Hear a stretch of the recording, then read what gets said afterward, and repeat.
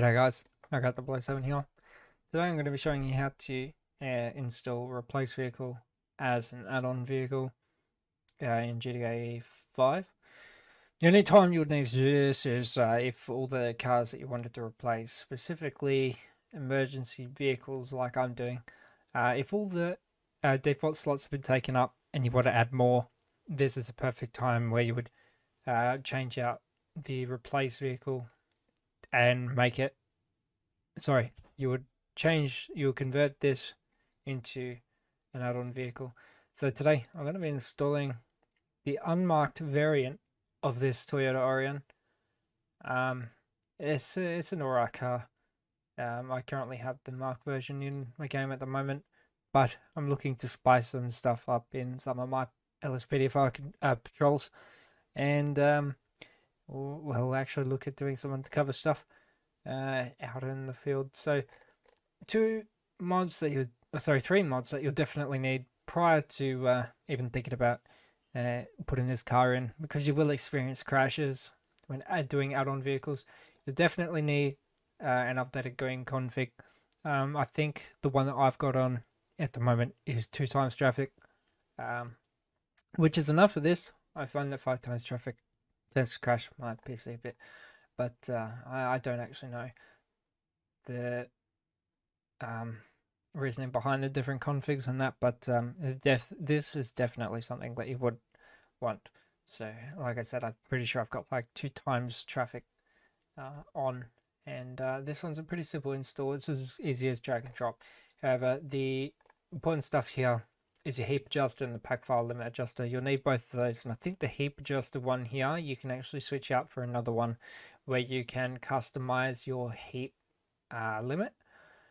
And um, I'll show you what mine is when we get into it, seeing as my game works perfectly fine. So with this, we'll uh, grab this. I've already downloaded it because I've installed it before. But uh, we'll go and we'll use uh, the unmarked one, I want the unmarked one, which is FBI. I've already got my FBI swapped out. Uh, we can find that one in here on the DLC packs. We can go down. There are some in here, like the 16 Challenger and that, that are add-ons, but those are proper add-ons that have been made for that. If we will go down to patch day 26, I'll show you an example of an add-on that we'll be doing uh, 64 levels GTA 5 vehicles RPF. So as you can see, my FBI has been replaced by uh, it's an unmarked Kia Stinger. Um, this one's a private model. No, I will not be giving it out. Um, among a few other models in here that I have. So this FBI is a replace one, which uh, is apparently what our one here wants to replace, but um, we won't let it. And uh, as you can see, there is actually up here, Aurion up here, which is the add-on vehicle that I've done for the marked version of this vehicle that we want to put in. And when it opens up, as you can see, we've got that one. This one works perfectly fine in game um, as an add-on vehicle. I will show you everything to do with the vehicles.meta, the handling and car variations as well um, to do with that one. So, without further ado, believe we can get started on the actual install. So the first thing you want to do, we'll chuck in the files into here. We're not going to chuck them in like this though. We need to rename them first. So we'll rename them to something really uh, obvious. So UM Aurion, for example, would be unmarked Aurion. That'll change those three. In this one, we have to rename separately because of the underscore high at the bottom. So we'll just do that one quickly. That's how you spell Aurion. Is that how you spell it? Yes, that is. Okay, so UM Aurion. Now these three here, apart from the XML, we want to drag and drop in. Remember to turn on edit mode. So drop those in, and down the bottom here, we've got our UM Aurion. Okay, looks very nice, pretty good. Um, yep, looks good. Definitely an Aurion about 400,000 polygons. Uh, that's why you need your game config set for like your increased amount of vehicles and also stuff with really high polygons, uh, really high poly counts. For example, I think, I think there's one in here. I can't remember what it is. Mm, Possibly police three. Let me have a look. This one. That's definitely not it. Police three, I believe, has high poly count. Oh, well, two hundred seventy-two thousand on this stinger.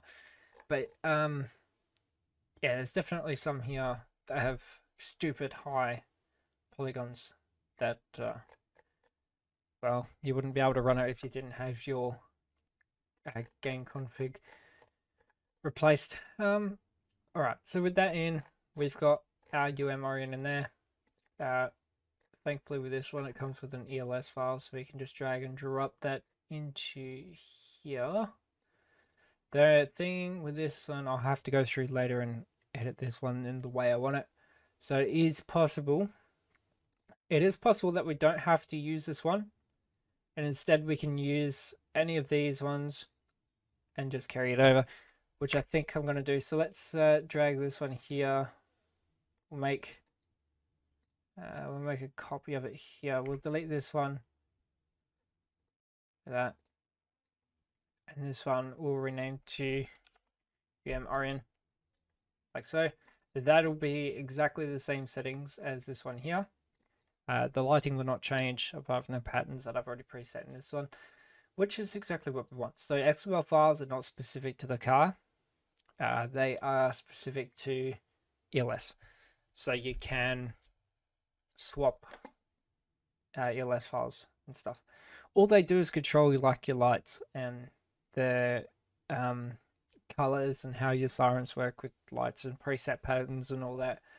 So that's all that does. So yeah, like I just did there, I've swapped this one here with one that already exists in the file. So now all my lighting patterns will be the same as this one it'll just be an unmarked variant, which I hope doesn't change too much, but, uh, well, I'm about to find out, aren't I?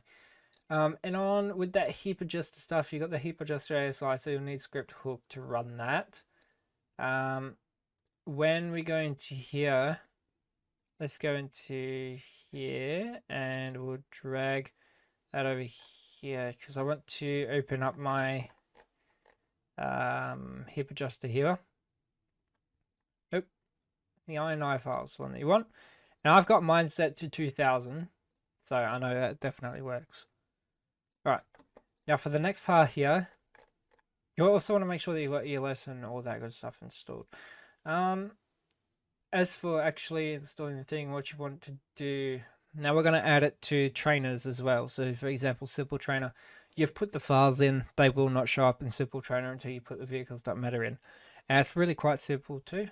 So you want to go down as to your mods folder, update, update up. You have common data,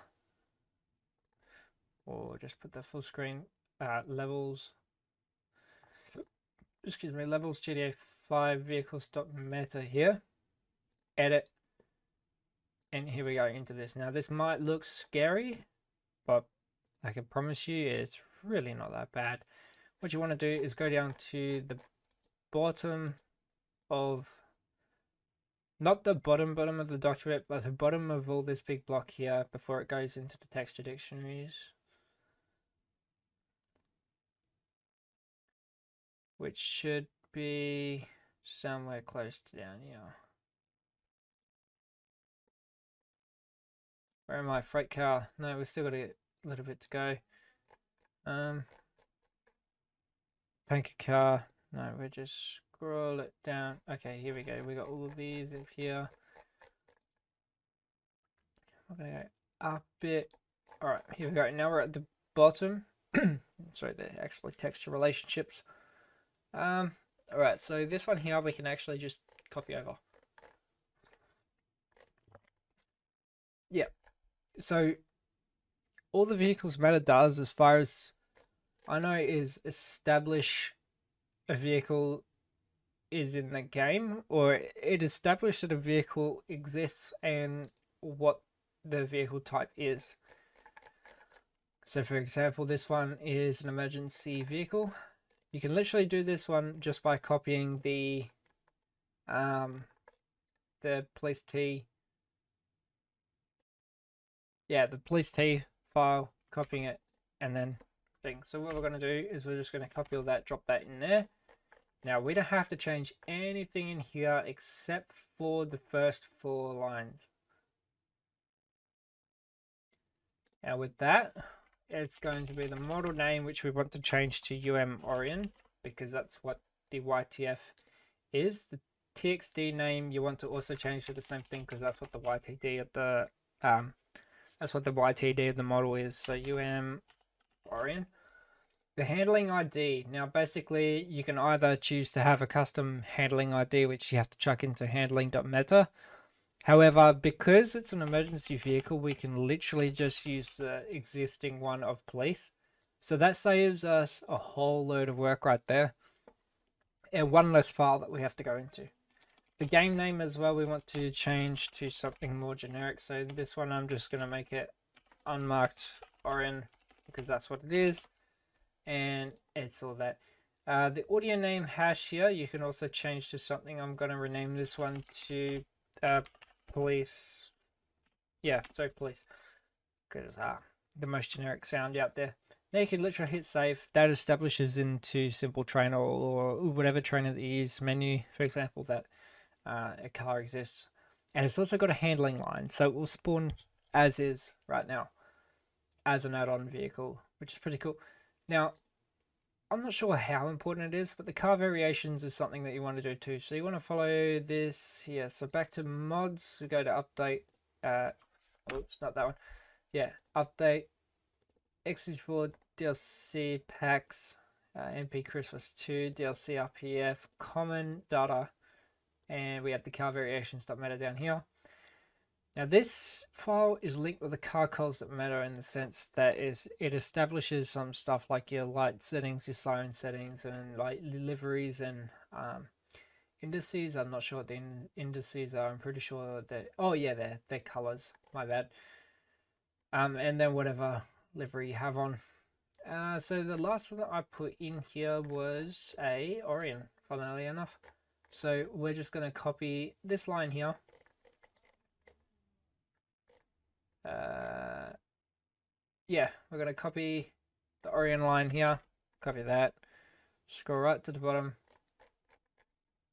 And then just after this item line here, we want to paste that in. And then right at the top, you just want to change that to UM Aurion. Um, our siren settings, I have changed it to the same one as a car, similar to the original Aurion, which was, I believe, uh, the normal police one, which I think is a Holden VF. So it's the same kind of car. It's got the same lighting patterns and that. So all I did was uh, copy over. Oh no, because I had to put in a custom one for something. I can't remember what it was. But uh, yeah, maybe the stinger. I think maybe the stinger. But I find that I started setting 13 works pretty well for I need. I don't know how to interpret the siren settings and that without looking through carcols, but even then, that's that's a whole different kind of thing altogether. So I wouldn't mess with anything in here unless you know what you're doing. And then towards the bottom of this as well is where you get all your sirens and stuff. So it'd be great if someone could like translate this because this is how you create um, lighting patterns. So I, I genuinely don't know. So if anyone could uh, help us out with that, that'd be great. But uh, yeah, don't change anything in your carcols, just add that line into car variations, depending on what you want. It seems to work with fine for me with what I've done. That's essentially your replace vehicle added in as an add-on vehicle. So we're going to go into GTA now. And, uh, well, we're going to start it and uh, give it a go. Alright. So now we're in game. I've got my trusty senior sergeant, Josh here. He's going to go down to the, uh, the um, garage down here and check out the new fleet of unmarked Toyota Aurions that we have. Uh, I believe going into vehicle spawning we want to go to added vehicles menu and then over here we have the UM Aurion that we put in. And as you can see that spawns in here.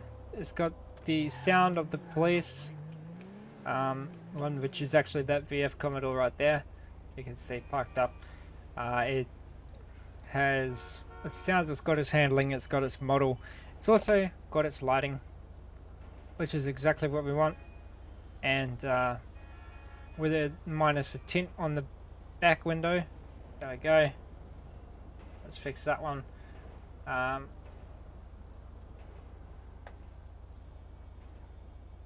yep, let's fix that one on the side lights as well. We've also got a siren. And yeah, here we go. So this is the replaced vehicle added in as the add-on vehicle and it works. It works. And uh, definitely make sure that you've got your heap adjuster in. Uh, also make sure you get your pack file and your game config in because uh, some of these some of the models out there can be very high poly and they will crush your game.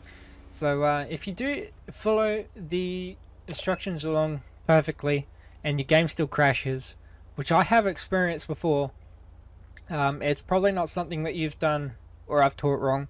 It's probably something to do with the model itself, uh, or the game, or how the game handles the model, whether it's like too high polys, uh, or that for any other vehicles that you've got in or something. I'm not entirely sure how that works, but uh, I have had it before where I've installed a replaced vehicle as an add-on vehicle the same way I've done it today and the game just crashes it doesn't like it and taking out the game works fine. So uh, sometimes you will experience that. That's not something that I've taught wrong. It's not something that you've done wrong. If you follow that's providing you follow this uh, entirely. Um, it's probably something to do with the model like I said.